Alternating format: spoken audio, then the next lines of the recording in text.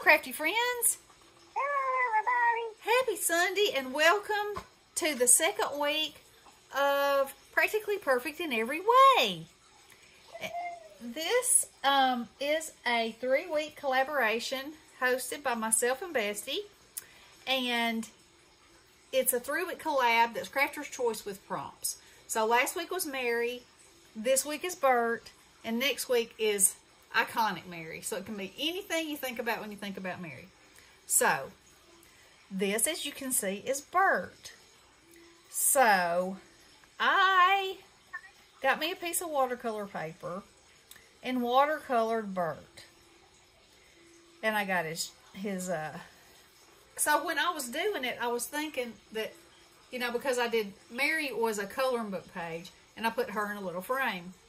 And then I did him, and I was like, well, and Bessie kept saying, you don't need to do anything else. He's fine. And I was like, no, he just feels he needs something.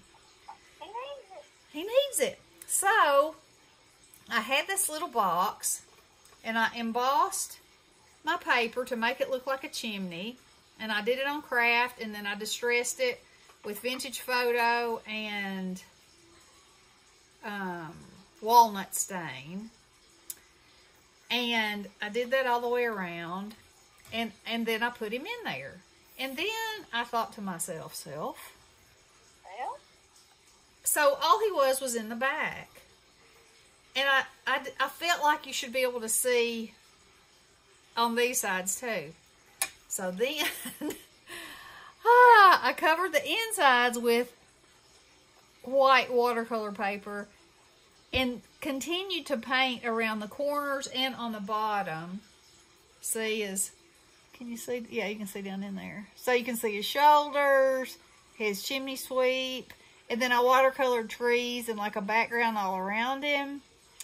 And so, you know, he's a chimney sweep, so he's in his chimney. And then one of my favorite scenes in Mary Poppins is is when he hands Mary a bouquet of what she thinks is flowers, and then they all start fluttering away, and it's blue, these amazing blue butterflies. So that's what I wanted to capture with this. And so I had all these different butterflies. Nikki gave me some. Some came from the Dollar Tree. Some were in my stash. And they are all different kinds. So I made a bouquet that goes up here.